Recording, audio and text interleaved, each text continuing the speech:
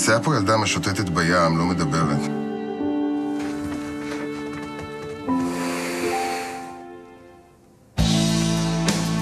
פשוט יש לנו כרטיסים לקריבים בירח דבש. בשביל מה לכם קריבי? יש לכם אחד את השני. מה כבר יש בים?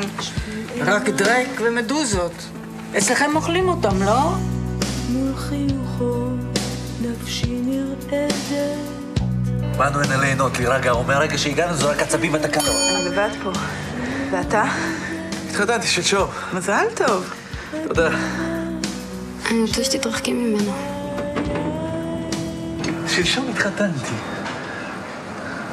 מזל טוב. את מפוטרת. את מפוטרת, את מפוטרת.